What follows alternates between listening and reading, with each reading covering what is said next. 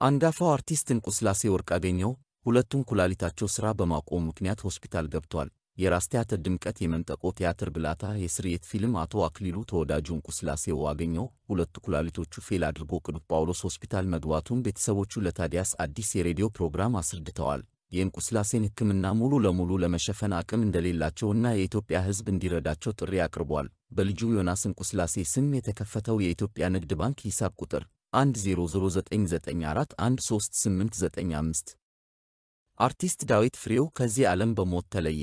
የክላርኔት ሙዚቃ ተጫዋቹ ዳዊት ፍሬው ከዚህ ዓለም በሞት መለየቱ ተሰማ። የአርቲስቱን ሕልፈት ኤፍኤም አዲስ 97.1 ሬዲዮ ጣቢያ ከቅርብ ወዳጆቹ ማረጋገጡን አሳውቋል። አርቲስት ዳዊት ፍሬው ለሙዚቃ ሥራ ወደ ጣሊያን ሀገር ተጉዞ እንደነበር የሬዲዮ ጣቢያው ዘገባ ያመለክታል። ክላርኔት ተጫዋቹ እና ሙዚቀኛው ዳዊት ሕይወቱ አልፎ የተገኘው በተኛበት ክፍል መሆኑና የጣሊያን ፖሊስ የአሟሟቱን ሁኔታ እያጣራ እንደሚገኝ ተገልጿል። በጣሊያን የሚገኙ ኢትዮጵያውያንና የሙያ አጋሮቹ ከሀገሪቱ ፖሊስ ጋር ተነጋግረው የአርቲስቱን አስክሬን በሀገሩ ኢትዮጵያ ለማሳረፍ እንቅስቃሴ መጀመራቸውን ኤፍኤም አዲስ 97.1 አሳውቋል። ዳዊት ፍሬው የክላርኔት የሙዚቃ መሣሪያውን እየተጫወተ የሠራው ሦስት የሙዚቃ አልበም ያለው ሲሆን የአንጋፋው ድምፃዊ ፍሬው ኃይሉ ልጅ ነው።